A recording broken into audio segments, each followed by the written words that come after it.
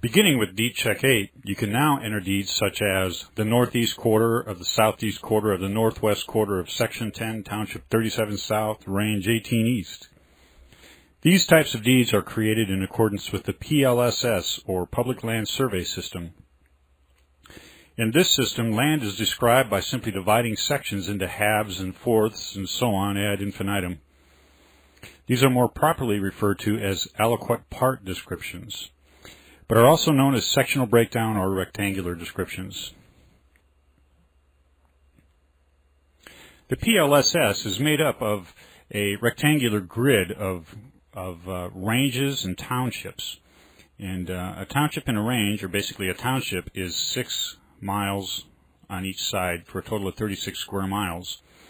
Each mile inside of a township is called a section. So these blocks of townships extend north and south, and blocks of townships or ranges extend east and west. Sections, by definition, are one mile square. However, in reality, this is rarely the case, and that's because uh, when the surveyors went out there to measure, you know, measuring a precise mile, especially, especially 150, 200 years ago, uh, was a difficult uh, thing at best, uh, going through mountainous terrain and forest and and rivers and so forth. So, in reality, it, the property may not be a perfect mile, but as far as D-check is concerned, uh, it treats everything as if it were a standard mile. So all sections in here are nice, neat, clean, square mile sections. To enter this type of deed, click the Draw menu, and then Tract by Aliquot Parts. Now simply enter the description into the dialog box. Most of the time you can enter it just as it appears in the deed, like this.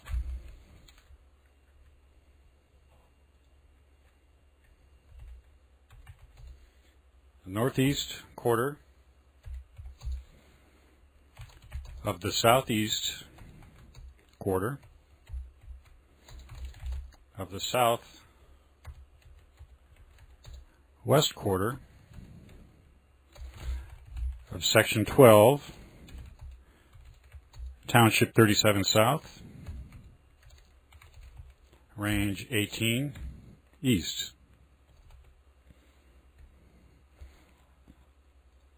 And there's the parcel.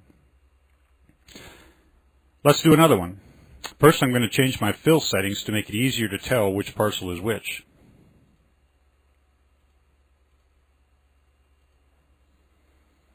And I'm going to turn annotations off for now to cut down on the clutter for this example. So again, I, I select the Draw menu and then Tract by Aliquot Parts. And this time I want the north 200 feet of the parcel that I just entered. And to save all that typing, I'm just going to paste the rest of it in from the clipboard. And there it is.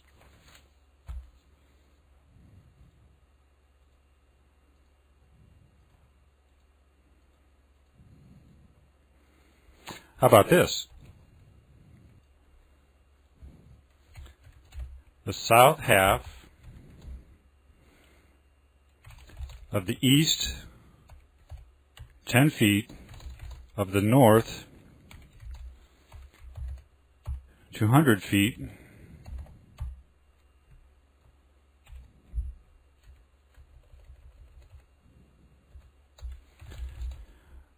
of the so on and so forth parcel that we already have.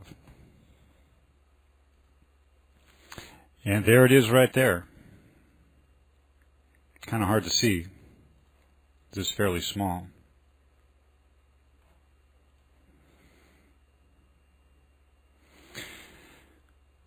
We can process sectional breakdowns in this manner up to eight levels deep. Notice that in our example, all the parcels are located correctly in relationship to each other.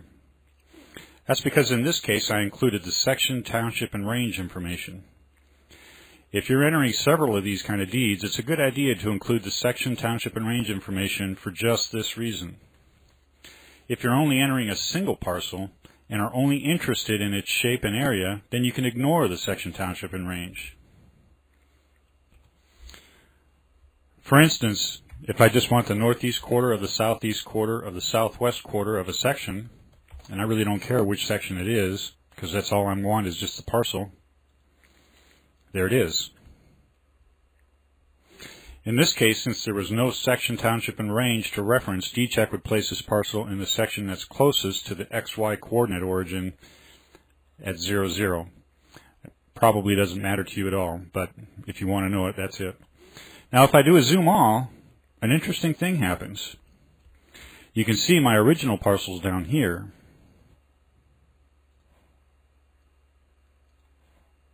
And I have to zoom in quite a bit to get to them. If you recall, I used a township of 37 south. That means that these parcels down here are 37 townships south of the 00 origin, or about 200 miles. Now if I use the zoom window command up here, and again have to uh, zoom in a couple of times, you can see the latest parcel that I just entered without a section township range. Here are a few other things to note about the tract by aliquot parts command.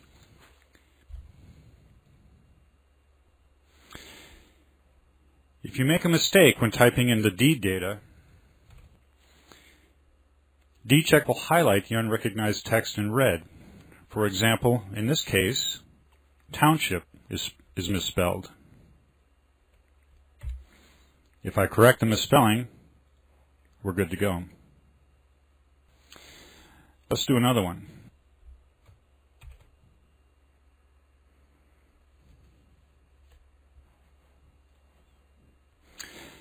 Can you tell what's wrong with this one? This one's a little tougher. I'll give you a hint. There's nothing misspelled with it. The problem is that townships only run north and south, and here I mistakenly entered the township as an east township. I'll change it back to south, and that should take care of the problem.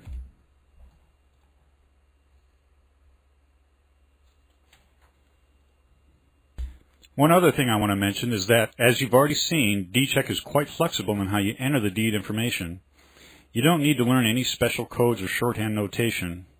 For instance, you can abbreviate your entry such as northeast quarter, or you could spell it out. However, you do need to be consistent and of course accurate. In this example, I abbreviated northeast using periods. In other words, N period E. And for southeast, I didn't use any periods, I just said SE. But here, I mixed the two. I did south with no period, and the west, or the W, with a period. That doesn't fly.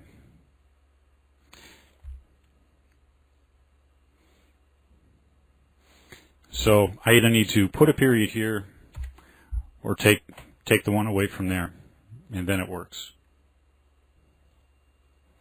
Here are some other things you need to know about the routine. You can only process parcels in one section, township, or range at a time. For instance, the following description would cause an error. And that's because we're taking the west 200 feet of sections 20, 29, and 32. Instead, the way to handle this is to take each section by itself. In other words, run the command three times. Whoops, can't have a plural there. Section 20. To make this more distinct, I'm going to change my um, fill pattern here in a different color so we can more easily see what we're doing.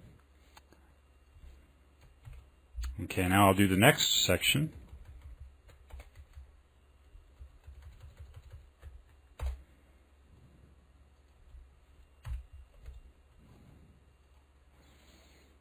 And I'll change my fill color again and do the last section.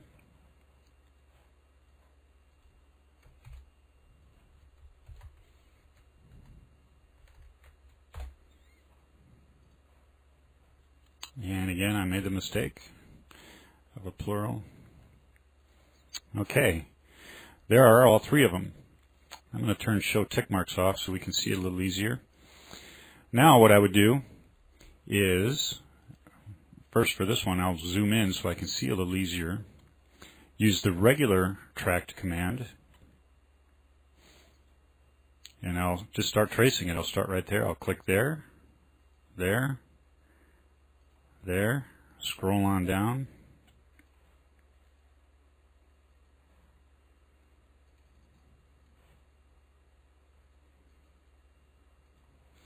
Start scrolling up the other side.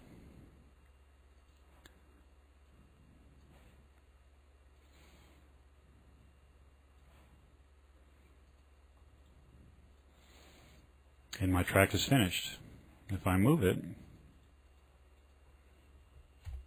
you can see now that I now have one long parcel, one long tract that represents this description of these three items. You would also use this technique if your description describes a parcel less a smaller portion of the parcel. First, you would draw the main parcel, then draw another parcel representing the lesser portion, and then again use the regular tract command to trace the portions that you need for the final description. And finally, when you enter the deed information into the dialog box, only include the information relevant to the actual breakdown of the section itself, such as the north half of the northeast quarter and so on. If the deed says something like the north half of the parcel lying in the northeast quarter of the aforementioned section herewith and so on and on and on and on, all that window dressing, so to speak, will only confuse the program. So clean it up so only the relevant information to be described is included. The meat of the description